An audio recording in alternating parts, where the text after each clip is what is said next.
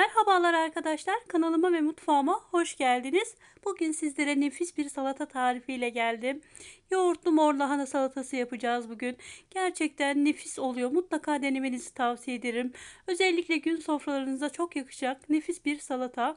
Malzemelerim hazır. Hemen detaylarına geçelim. Öncelikle e, bir adet lahana kullandım ben. Lahanamı güzelce yıkadım. O dış kabuklarını güzelce soydum. Daha sonra ortadan ikiye kesip ince dilimler halinde doğrayacağım. İsterseniz e, rendele edebilirsiniz. Ben biraz böyle e, dişe gelmesini istediğim için böyle ince ince doğradım. Size kalmış. Nasıl isterseniz o şekilde yapabilirsiniz. Evet ince ince doğradıktan sonra geniş bir kaba tüm lahanalarımı alacağım. Evet lahanalarımı doğradım. Şimdi e, ocağa bir tava alalım. Tavanın içine yarım çay bardağı kadar e, sıvı yağını alalım. Daha sonra doğramış olduğumuz mor lahanayı e, tavamıza alalım ve lahananın o diriliğe gidene kadar e, kavuracağız arkadaşlar. E, yoksa çok sert olur. Mutlaka e, bu kavurma işlemini yapmamız gerekiyor. Evet bu şekilde ara ara e, gidip gelip karıştırabilirsiniz. E, tamamen e, ölecek e, ve rengi de hafif değişecek. E, o zaman e, tamamdır.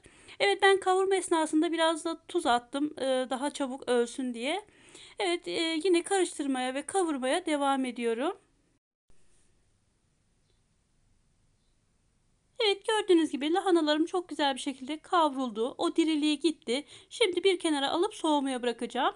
Lahanalar soğuduktan sonra e, geniş bir kaseye soğumuş olan lahanalarımızı e, alalım. Üzerine diğer malzemelerimizi ilave edeceğiz. Bir tutam maydanoz ekledim ben. E, ince doğranmış. 6-7 adet e, turşuluk kornişon salatalık ince ince doğradım. Onu da ekliyorum. Şöyle bir küçük kasede e, konserve mısırım var.